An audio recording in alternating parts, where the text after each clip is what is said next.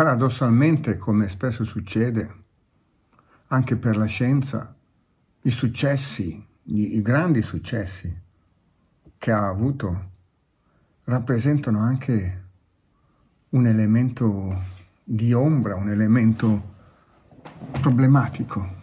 La, il dominio, la prevalenza del pensiero scientifico razionale, quindi separazione, dividere per conoscere, è diventato egemone e ha occupato gli spazi anche che non gli competono. Ha diviso l'ipertrofia del razionale, ha diviso, ha separato per conoscere, ha prodotto l'identificazione con il mondo materiale, quello più evidente, quello più facile da studiare, e la negazione della coscienza o la sua delega al mondo trascendente della religione. Ha prodotto la separazione tra mente e corpo, tra spirito e materia e così via. Questa separazione è alla base di quella che chiamiamo pandemia emozionale, ma è una separazione che viene da molto lontano. Vogliamo provare, avete la pazienza, andiamo a vedere la storia, chiediamo aiuto agli antropologi. Com'è? Com'è la storia dell'umanità? Com'è incominciata? La storia prima di essere raccontata. Eravamo prede, prede, quindi sopravvivenza, paura, controllo, lotta. Da preda faticosamente, dapprima imitando gli animali, imitando le iene che mangiavano i cadaveri, ebbene sì. Poi dopo, rinforzandoci e diventando a nostra volta predatori, abbiamo salito la scala alimentare, raccoglitori cacciatori e poi piano piano pastori agricoltori. Teniamo a mente questa diade, pastore e agricoltore, perché questa diade è un po' ciò che spiega Pensiamo al pastore, ai pastori, nomadi in zone aride, spesso marginali, rese ancora più aride dall'abitudine della pastorizia, andare, cioè muoversi, consumare, cambiare posto, quindi senza nessun trattamento o cura della terra, senza semina, senza raccolto spogliazione, prendere e andare, una sorta di sfruttamento della natura. E proviamo a pensare anche quale sarà poi la mentalità.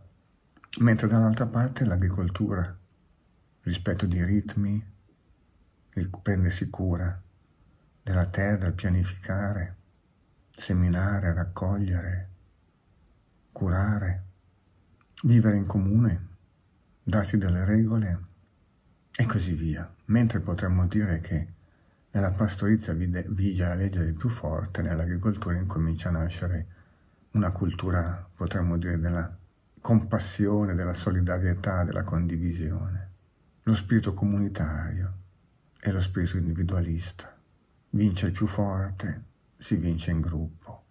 Questa diade, al di là della, del ruolo pastore-agricoltore, è una diade che poi rispecchia. La, il maschile e il femminile archetipico non tanto di genere, accoglienza o sopraffazione, collaborazione o vittoria, combattimento o dialogo, pace o guerra, superiorità, superiorità inferiorità o collaborazione, uguaglianza parità. Eh? Pensiamo a quante di queste diadi possono essere riconosciute.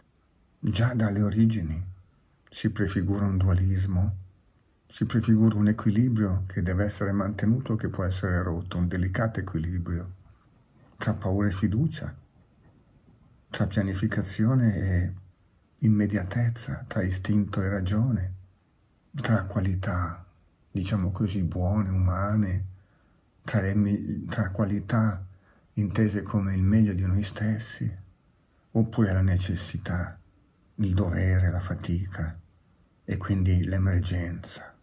La, la sfida è quella di mantenere questo equilibrio, solo che questo equilibrio si è rotto e si è rotto tanto tempo fa. Proviamo un po' a vedere quando. Tutti quanti noi siamo indoeuropei, noi europei e poi di conseguenza pensiamo a quanto poi si è diffusa la cultura, diciamo così, europea. Stati Uniti e via di seguito, conquistatori, la, la razza bianca, i conquistatori, vittoriosi.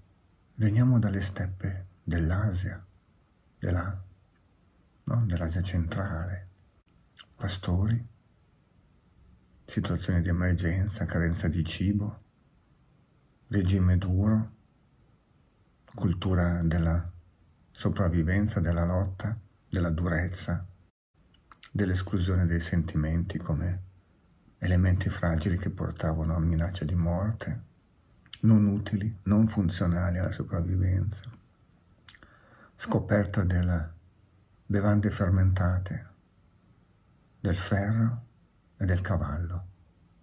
Immaginiamoli queste orde tra il 2005 e il 4000 a.C hanno conquistato il mondo finora conosciuto, fino allora conosciuto.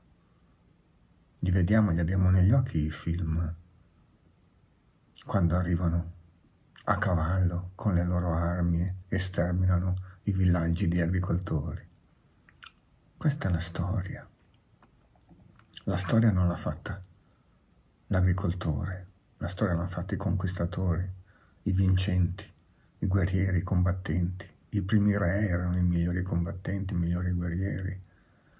La legge del più forte ha costruito la nostra società e di conseguenza poi ha tramandato no? un pensiero basato su ipertrofia del razionale, cultura del dominio, mitizzazione del dominio, della sofferenza, del potere, della distruzione Pensiamo al, al guerriero valoroso la cui meta principale è morire in guerra, combattendo il nemico. Quindi questa ossessione per la morte, per la vita, per l'aldilà, per la lotta, veicolata da una vita difficile, da una vita nomade basata appunto sulla sopravvivenza. Termini come fiducia, amore, piacere, sacralità, abbandono, condivisione. Era un lusso che non si potevano permettere. I vincitori. E così ecco che succede quello che Di Meo chiama istituzionalizzazione del trauma, sviluppo di personalità rigide imprigionate in una corazza di durezza, di controllo, di negazione dei sentimenti di piacere, valorizzazione di disciplina, dolore e sacrificio, della ragione sull'istinto, della materia sullo spirito, del ricco sul povero, del vincente sul perdente, del sano sul malato, del normale sul deviante, che era semplicemente un ostacolo che veniva eliminato. Le stesse divinità diventano, da divinità della natura, diventano uniche, vengono messe nel regno dei cieli, diventano castigatori o misericordiosi che salvano che condannano e l'umanità si fonda su peccato, colpa, perdono. Ecco tracciate un po' la genesi di questa pandemia emozionale che ancora oggi ci pervade e risorge come una fenice sulle ceneri ogni volta, soprattutto ogni volta che un'emergenza, vera o presunta, si manifesta. Possiamo comprendere come sia facile adeguarsi, sopportare, ricercare quasi la condizione di emergenza quando si ha un sistema di pensiero e di comportamenti che è nato in questa situazione, una serie di abitudini costruite apposta per vivere in emergenza. E quindi questa pandemia emotiva ben descritta, così ben descritta da Reich nel 1933, lui la chiama peste emotiva e dice questo. La peste emotiva è una biopatia cronica dell'organismo, apparso con la prima soppressione della vita sentimentale e genitale su vasta scala. Un'epidemia che affligge il piccolo uomo nelle sue relazioni interpersonali, nei processi politici che possono provocare azioni non, non democratiche e demagogiche. Si tratta di un comportamento anomalo della società che minaccia la ricerca di una società libera ed equilibrata, per via della quale i popoli sottopongono la loro volontà a governi attraverso la costruzione del patrocinio patriarcale. I popoli vengono così subordinati alla violenza politica attraverso imposizioni, ma soprattutto generando individui afflitti emotivamente e dipendenti da gerarchie autoritarie organizzata in base a censo, etnia, proprietà, sesso. Non ci ricorda qualcosa? Quindi, dato che, come vediamo, il pensiero è influenzato dalle emozioni, da quello che noi facciamo le emozioni, le emozioni influenzano il pensiero. Un blocco, un blocco della formula della vita, una somatizzazione della repressione sessuale, una istituzionalizzazione del trauma, un blocco nella vita sentimentale, genitale, piacere, lasciarsi andare, affidarsi, produce un pensiero di controllo, di divisione, di separatezza, di giudizio, di eccessivo ragionamento, quindi repressione emotiva, ipertrofia razionale. Questo è alla base della nostra pandemia. Cultura del dominio, codice della paura, retorica della guerra. Cosa succede a livello neurofisiologico? La chiave della risposta è nell'amigdala. L'amigdala è una delle strutture legate alle emozioni. Una è l'amigdala, l'altra è l'ippocampo, che è al centro del sistema limbico. Cosa succede? L'amigdala alla nascita è molto più sviluppata che non l'ippocampo. L'amigdala è delegata a dichiarare lo stato di emergenza, a creare una risposta emotiva impellente, istintiva, per risolvere la situazione in fretta, per togliersi dall'impiccio, mentre l'ippocampo elabora emozioni più mediate, appunto, piacere, fiducia, e via di segue, sentimenti.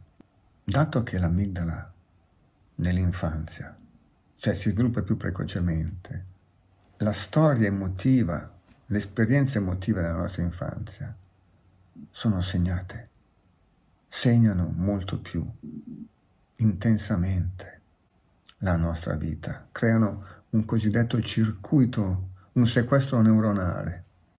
Si attiva un circuito breve che non arriva alla corteccia per la quale bastano pochi elementi che richiamano a quella situazione traumatica dell'infanzia, perché noi viviamo una situazione con la stessa intensità di, di pericolo e di emergenza di allora.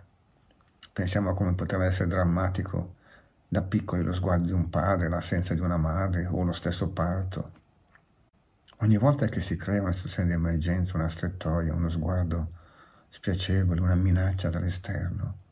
L'amigdala attiva questo sequestro neuronale, quindi questa approssimazione. Una cosa che sembra quella diventa quella. Un virus che fa pochi danni diventa grave come la peste, tanto per citare un esempio. Qualche cosa che potrebbe minacciarci come ci siamo, siamo stati minacciati in passato, diventa una minaccia mortale. Perché queste emozioni vengano mediate, devono passare appunto dall'ippocampo e poi dalla corteccia prefrontale e poi dalla neocorteccia. L'una, la corteccia prefrontale smorza, allora l'ippocampo fornisce dei ricordi più particolareggiati, consente di differenziare una cosa dall'altra. La corteccia prefrontale smorza gli impulsi, eh, modulando una risposta un po' più appropriata. la neocorteccia elabora l'informazione e guarda un po', tendendo a controllarla. Se è ipertrofica, la reazione della neocorteccia divide per controllare, combatte la paura con il ragionamento. Ecco ricostruito un'emotività irrazionale, diciamo così, e un eccesso di razionalità per controllarla, la diade emozione-ragione che abbiamo visto all'inizio essere alla base, la confusione tra emozione e ragione essere alla base di questa tendenza transumanistica, al transumanesimo di oggi. Questa diade, questa lotta tra emozione e ragione potrà solo portare o a cedere, a perdere, ad essere guidati dall'emotività, oppure a controllarla irrigidendoci in una struttura muscolare, caratteriale e rigida. E vediamo un po' a livello psiconeuroendocrino immunologico, a livello quindi della rete organismica che cosa succede. L'organismo umano è in dialogo col mondo, dicevamo, e affronta, sopporta le difficoltà, gli stressor, attraverso quella che viene chiamata la risposta da stress. Gli stressor del, della carenza di cibo e della minaccia di sopravvivenza dei pastori nomadi, fino allo stress, allo stress del bambino alla nascita, dello sguardo del padre, della carenza della madre, fino allo stress della pandemia odierna. Attiva una risposta di stress. Questa risposta di stress ha delle fasi. La prima c'è una reazione di allarme, poi di resistenza o adattamento e poi di esaurimento. Se, e questo esaurimento può essere ovviamente caratterizzato da una fine, una ripresa delle risorse organismiche oppure un esaurimento appunto delle stesse. Questo ciclo viene chiamato da Silai, che è colui che l'ha in qualche modo descritto, General Adaptation Syndrome, quindi sindrome generale di adattamento. Per cui il dialogo con il mondo, questo stress o risposta di stress genera una reazione a catena che coinvolge tutto l'organismo. Tutto l'organismo. È impossibile separare corpo dalla mente, l'energia dalle emozioni. La rete è psico, neuro, immune, endocrinologica. Sistema nervoso, immunitario, endocrino, tutti insieme. Gli stressor ovviamente possono essere, no? Stressor fisici, uno shock elettrico, l'esposizione al freddo o, o una ferita, un dolore, oppure metabolici biologici, riduzione del livello glicemico, la fame per esempio, un'infezione, un'intossicazione alimentare, un virus, una malattia, oppure psicologici, appunto, la paura, una prova, un'emergenza, oppure psicosociali, una perdita, un lutto, una crisi economica. Ciascuno di questi stressor genera appunto una risposta. Se questi stressor sono troppo potenti, troppo frequenti o generalizzati, essi superano la capacità classica dell'organismo di autorinnovamento, autotrascendenza, cioè di rispondere con la resistenza, con la fase di allarme e resistenza, e producono un processo patologico di, appunto, di, di esaurimento. L'individuo è un CAS, Complex Adaptive System, quindi un sistema adattivo complesso, dotato di capacità di autorinnovamento e di autotrascendenza, quindi dalla capacità di rispondere nel modo adeguato e di farlo imparando, rispondendo, imparando, ritrovando un equilibrio, non solo non solo ritrovando un equilibrio, ma anche trascendendosi creativamente nel nuovo, imparando qualcosa di nuovo. Pensiamo un po' alla nostra pandemia. Se lo lasciamo funzionare, il nostro organismo è in grado di imparare qualcosa di nuovo. E noi vogliamo tornare alla normalità o vogliamo imparare qualcosa di nuovo? Questo capacità di autorinnovamento autotrascendenza, viene anche chiamato imprinting psicobiologico, cioè il nostro organismo attiva risorse, non solo quindi le risorse del sistema immunitario per combattere il virus, ma attiva risorse basate sulle esperienze passate, sull'età, sul sesso, sul buon funzionamento organico, basate sul proprio profilo psicologico e cognitivo, sull'alimentazione, sugli stili di vita, sull'attività fisica, sugli atteggiamenti posturali, sui cosiddetti condizionamenti neuroassociativi.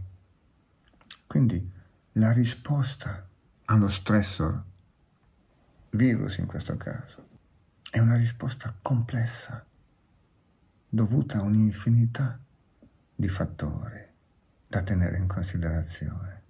Gran parte delle cose che il nostro cervello fa sono al di fuori del dominio della coscienza, ci dice Cazzaniga. Il 98% di quello che fa il cervello è al di fuori del dominio della coscienza.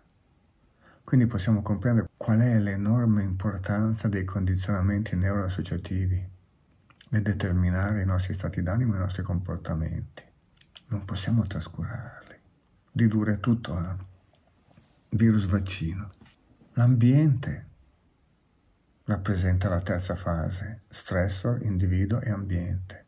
Quello che sta succedendo sta succedendo all'interno di un contesto e per ambiente dobbiamo considerare le condizioni geoclimatiche, ma anche la condizione sociale, familiare, sentimentale, lavorativa, economica, politica, le condizioni psicoemotive, l'educazione, l'intelligenza, la consapevolezza, la padronanza emotiva, le qualità umane e le potenzialità spirituali, la capacità appunto di consapevolezza, di saggezza e di disidentificazione. Capiamo com'è ampio lo spazio sul quale noi possiamo agire di fronte a un problema o un'emergenza come questa. E noi riduciamo tutto a vaccino, virus.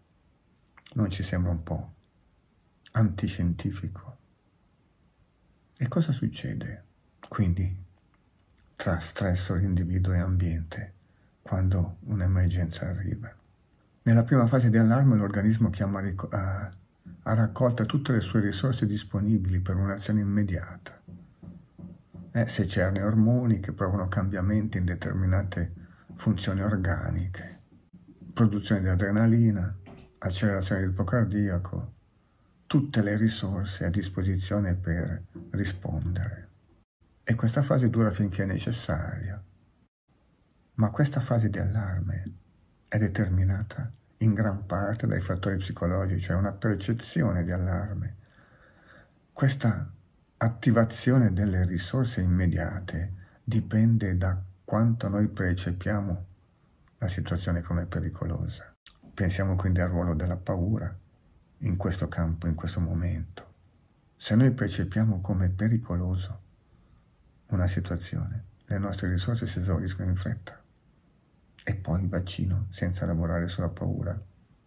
È qui che assume un ruolo fondamentale l'attivazione dell'asse ipotalamo ipofisario, quindi ipotalamo, ipofisi, surrene, il quale mette insieme un complesso, complesso programma, sia biologico che comportamentale, per sostenere la risposta allo stress. Questa risposta porta a una sovrapproduzione di, cor- di cortisolo e di conseguenza soppressione delle difese immunitarie. Pensiamo al circolo. Io vivo come minaccioso qualche cosa più di quello che è, quindi ho paura, esaurisco le difese.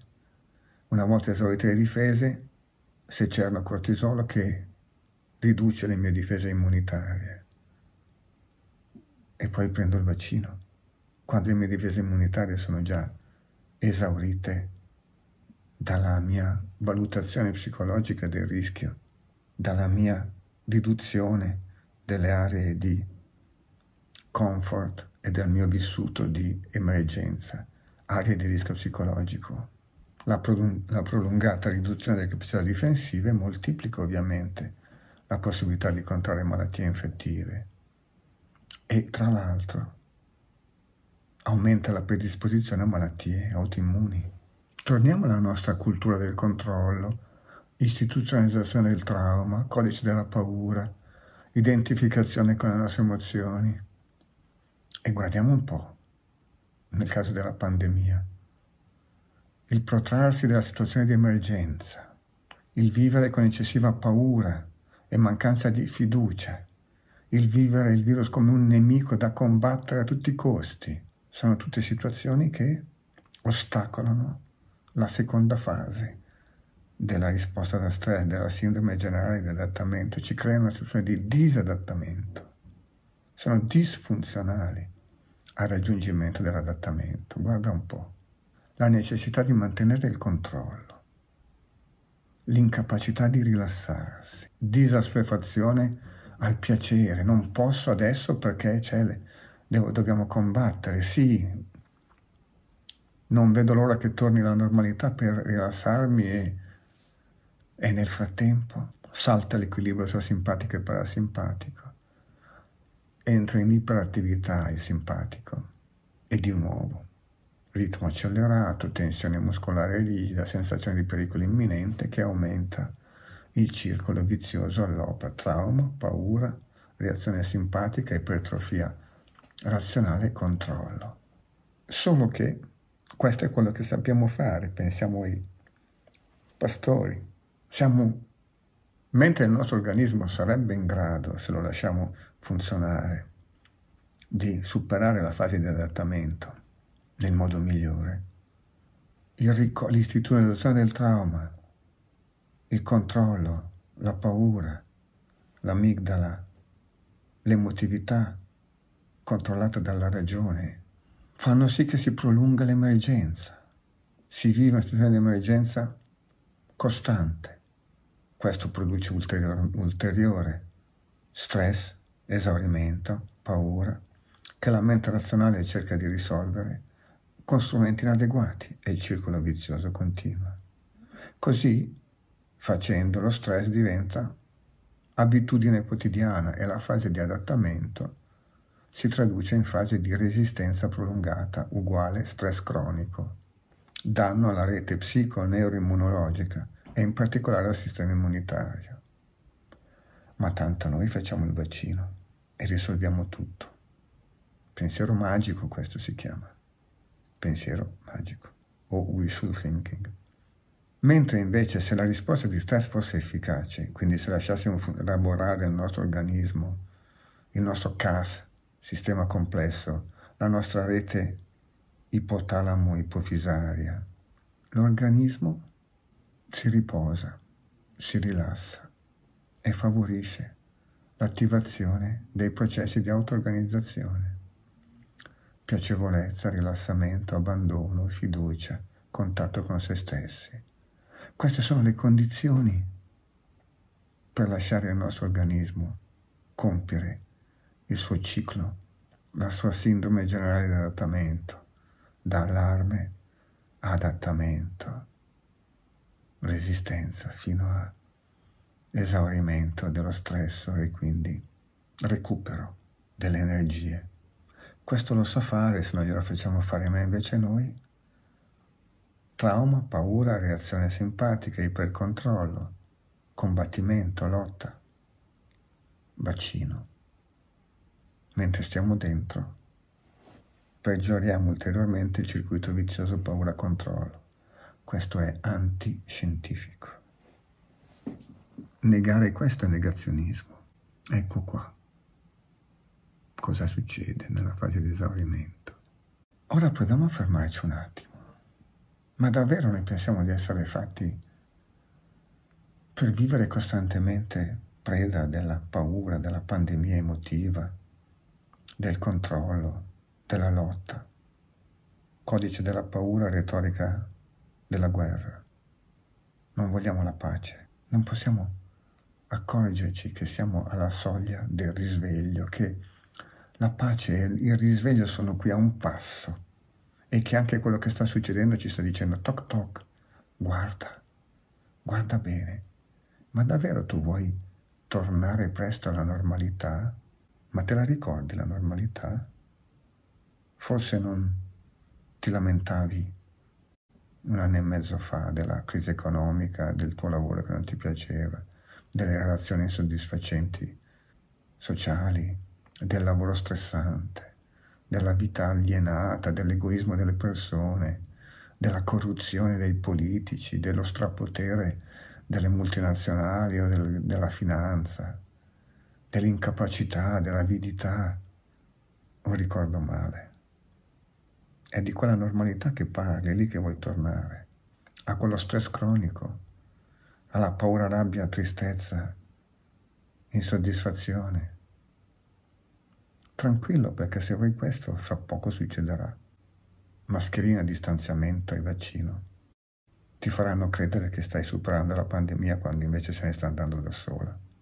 Ma facciamo finta che stiamo vincendo, che la task force dei nostri politici e scienziati presto ci porterà, grazie alla vaccinazione di massa. Dobbiamo vaccinare tutto il mondo e ogni anno ci vaccineremo e torneremo così alla normalità esattamente come prima, o forse un po' peggio, visto che il prezzo che abbiamo dovuto pagare. Ma pensi davvero che non possiamo sognare un mondo migliore? Pensi davvero che non potrebbe essere un'occasione per svegliarsi? Ricordati quando si nasce. Non si viene semplicemente fuori dall'utero, cioè da una notte buia. Si incomincia a respirare. Davvero non vuoi incominciare a respirare? Davvero credi che la vittoria sul Covid sia la vittoria sia una condizione che ti farà vivere meglio, avrai imparato qualcosa, ti troverai più libera, libero, sveglio, sveglia, felice, o dovrai riprendere dove hai lasciato, forse peggio. Cosa ci ha insegnato? Forse non riesci neanche a immaginare come potrebbe essere. Ricordati, il nostro organismo è in grado di trascendimento creativo nel nuovo lascialo fare, la fase di esaurimento, se tu la lasci che si, lasci che si compia, trascende creativamente nel nuovo, attraverso apprendimento, memoria ed evoluzione. Questo è quello che il tuo CAS, Complex Adaptive System, sa fare. Lasciaglielo fare. Guarda, mettici del tuo. Apri la visione. Sogna, big dream. Qual è il tuo grande sogno? questa nascita nuova che sta avvenendo, che avverrà tra breve, grazie a tutti gli sforzi che hai fatto, credi. Comunque avverrà tra breve. Dove ti può portare? Ricordati, abbiamo parlato di consapevolezza e disidentificazione. Davvero insisti a credere che non possa essere importante, che tu impari ad osservarti, ad osservare i tuoi pensieri, ad ascoltare dentro, a conoscere te stessa, te stesso davvero, a disidentificarti, cioè a riconoscere che io non sono la mia paura, io non sono i miei desideri, io non sono i miei bisogni, io sono un essere eterno. La mia essenza è eterna. Ma chi te l'ha detto? Nessuno me l'ha detto, o meglio lo dicono tutti, le tradizioni spirituali ma lo puoi vedere. Fermati, dai un'opportunità, osserva, ascolta. A questo punto dobbiamo parlare di stati di coscienza. La ricerca sugli stati di coscienza, semplificando, ci dice che noi passiamo attraverso degli stadi di coscienza, un po' come le note musicali o le tre tonalità no? della scala musicale.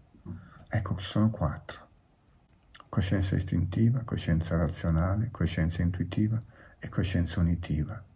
Ognuna rappresenta un mondo, così come i bassi o gli acuti, il soprano o il tenore. Il mondo del tenore è diverso dal mondo del soprano. Il mondo della coscienza istintiva, quello famoso, pastori e di seguito, che ci siamo portati appresso con la pandemia emotiva è diverso dal mondo della coscienza razionale, quello degli scienziati, quello della conoscenza che cerca di combattere, di superare l'istintività. Mondo della coscienza intuitiva. Siamo talmente distanti da comprendere cosa sia la coscienza intuitiva che il buon Burioni ci dice che la scienza è anti-intuitiva. Chiedilo a chi ha scoperto il DNA, chiedilo a chi ha scoperto la teoria della relatività, se è anti-intuitiva. L'intuizione, ce lo dicono tutte le tradizioni, è un livello di coscienza superiore al razionale. Se tu scambi l'intuizione con l'istinto, certo che sì, ma l'intuizione è insight, è vedere nel buio. La coscienza razionale è come avere gli occhi chiusi e studiare attentamente, misurare, valutare e muoversi, perfetto. Ma se tu apri gli occhi, tutto quello rimane della coscienza razionale, ma tu vedi qualcosa di diverso. Quella è la coscienza intuitiva, caro dottor Burioni, professore. L'intuizione è insight, è la vera conoscenza, è la comprensione di un nuovo ordine, come la chiama David Boone, è il fondamento, come la chiama Krishnamurti. E così via, si sprecano le definizioni, basta che date un'occhiata a dei testi della filosofia perenne. E questo schiude alla coscienza unitiva, quando tu ti accorgi che questa separazione tra me e te in realtà è fittizia, quando tu ti accorgi che alleato e agguato, che mondo interno e esterno stanno giocando lo stesso gioco, che virus e tu fate parte dello stesso viaggio, e quando smetti, allora smetti di combattere ciò che viene da fuori ma di allearti, comprendendo che tutto fa parte dello stesso flusso interconnesso di eventi. Questo puoi imparare dalla pandemia. Questo risolverebbe davvero la pandemia emotiva e di conseguenza gran parte dei nostri drammi. E questo è scritto nelle nostre, è scientifico perché è scritto nel nostro cervello, il buon MacLean ci insegna, parla del cervello triuno, della tripartizione del cervello, cervello rettiliano, cervello mammifero e cervello neo-mammifero, corteccia. Cervello rettiliano, il tronco cerebrale legato alla coscienza istintiva.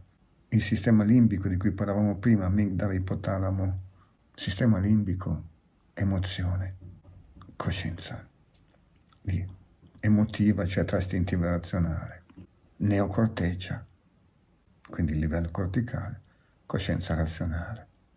E se ci fermassimo qui, ci saremmo. Ma poi sappiamo che i due emisferi sono uno più razionale e l'altro più intuitivo.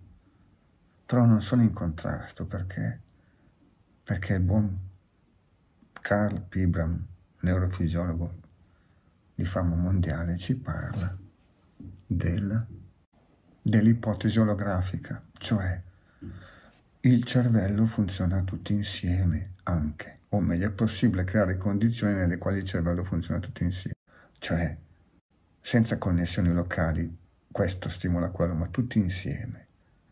E questa è la base neurofisiologica del pensiero integrale, della mente unitiva. È ovvio che non puoi misurarlo questo, puoi vederlo semmai quando funziona, che funziona insieme, ma come fai a accogliere l'unità se non attraverso l'osservazione consapevole?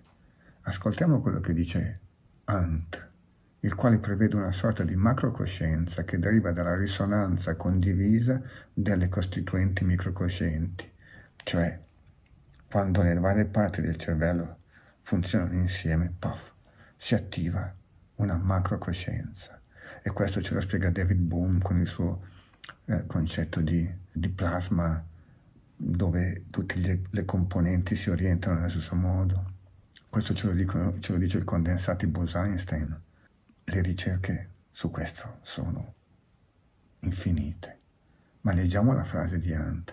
Man mano che una risonanza condivisa si espande in sempre più costituenti, la particolare entità cosciente diventa più grande e complessa. Quindi la risonanza condivisa in un cervello umano che raggiunge una sincronia gamma, per esempio, include un numero molto più grande di neuroni e connessioni neuronali rispetto a solo casi di ritmi beta e teta. Quindi, onde gamma, cervello che funziona tutti insieme, attivazione di molti più neuroni, risonanza condivisa, coscienza dell'unità. È possibile, è scritto nelle nostre cellule. Il nostro organismo è fatto per questo. Se abbiamo la mappa per varcare questo territorio e gli strumenti per starci. Siamo tutti prigionieri della nostra mente. Siamo in trappola. La mente razionale è un dono ma è anche una condanna. Possiamo fare un salto oltre. La pandemia emozionale ci mantiene nel circolo vizioso paura, controllo, stress cronico, identificazione, ma l'osservazione consapevole ci può portare, ci può dare gli strumenti necessari per un salto di coscienza. Fisiologicamente anche, è tutto pronto. È pronto fisiologicamente, è pronto culturalmente, è pronto a livello di evoluzione dell'umanità. Le informazioni sono tutte qua. Tutte le tecnologie del sacro, tutte le tecnologie dell'esperienza interiore sono a tua disposizione. Te lo dicono tutti meditazione, osservazione consapevole, contatto con se stessi. Ci consente il salto, fiducia anziché paura, condivisione anziché controllo o dominio. Lascia andare i falsi bisogni, successo, sicurezza, potere, ricchezza. La vera ricchezza, il loro potere è dentro, ce lo dicono tutti. Ma devi raggiungere un altro stato di coscienza, fare il salto, ricordati sveglia, nascere vuol dire respirare. Questa nuova nascita, un nuovo risveglio, respira l'osservazione consapevole e la disidentificazione. Usci, esci dalla pandemia emotiva e sì che allora faremo del bene a noi stessi e all'umanità. E sì, ci sono delle forze che remano contro. Nessun complottismo, assolutamente ma sono forze dentro di noi. Quella manipolazione di sé, quella pandemia emotiva che ci pervade. E non è che possiamo scegliere. O siamo preda della pandemia emotiva e ci svegliamo. Se siamo preda non possiamo che continuare a fare quello che stiamo facendo. Da una parte chi è spaventato e si fa controllare, dall'altra chi controlla. Da una parte chi crede che l'essere umano sia carne e ossa, cellule, processi biochimici, proteine, spike, molecole di RNA, DNA. Per quanto tempo ancora ci si potrà illudere di ignorare i dettagli come anima, spirito, essenza, vera natura dell'essere umano?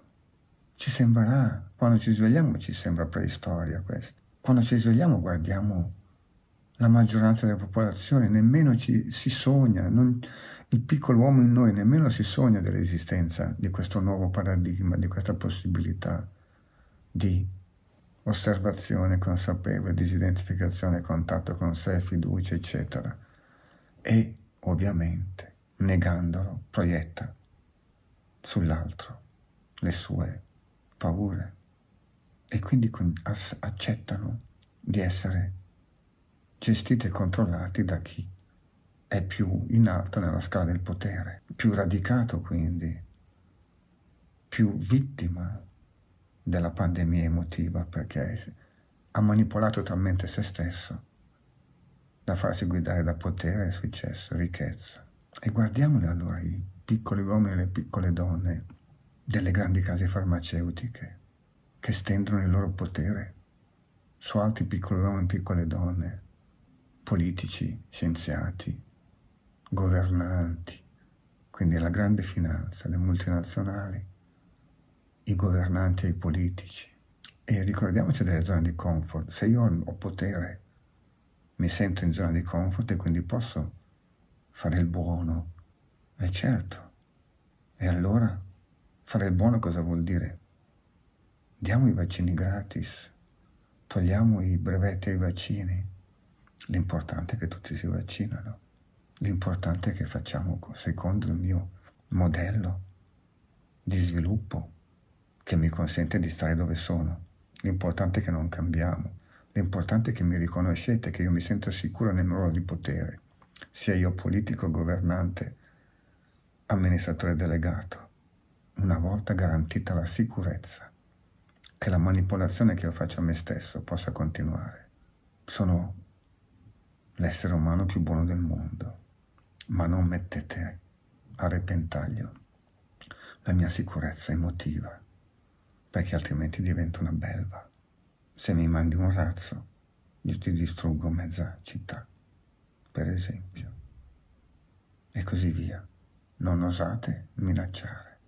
Il dissenso viene gentilmente accompagnato alla porta e dato che le menti sono molto raffinate, la manipolazione è molto sottile.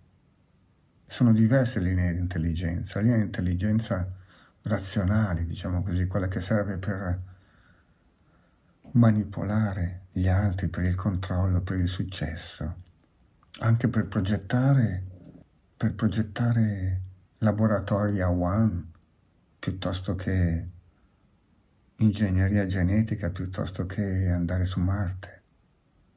È un livello di intelligenza non intaccato dalla pandemia emotiva, se non per il fatto che viene messa al servizio della manipolazione di queste, di queste emozioni, di queste emotività. I grandi ego identificati con il ruolo, al sicuro da questo ruolo, della loro personalità dominante, sono ignari della pandemia emotiva di denaro, potere, successo, prestigio che li pervade, che manipola le loro coscienze. L'intelligenza del potere egoico è così abile, come ci ricorda Leying, da raccontarsi bugie e credere che siano verità, nascondersi dietro le maschere delle razionalizzazioni, giustificare qualsiasi comportamento con raffinate argomentazioni. Tutto questo, questo piccolo uomo che ci domina, e questo piccolo uomo che si fa dominare in noi, merita compassione. In fondo sono schiavi delle loro identificazioni, sono al nostro servizio. Noi vogliamo farci manipolare, loro ci manipolano.